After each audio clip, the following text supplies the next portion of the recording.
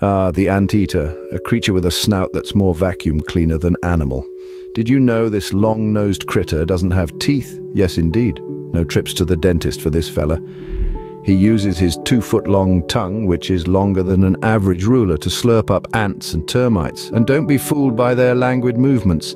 When threatened, these seemingly laid-back creatures can stand their ground, even against jaguars. Ever wondered why anteaters have such bushy tails? They're not just for show, my friends. They serve as a comfy blanket during chilly nights. How convenient. So next time you see an anteater, remember they're more than just a quirky vacuum cleaner on four legs.